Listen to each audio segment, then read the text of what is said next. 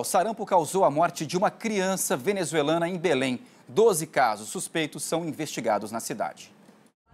Criança de quatro meses era indígena e vivia neste abrigo em condições precárias, no centro de Belém. O bebê foi internado neste hospital em estado grave, mas não resistiu. O atestado de óbito indica que a criança morreu por causa do sarampo, que evoluiu para uma pneumonia. Os médicos ainda investigam se o menino também contraiu o vírus H1N1.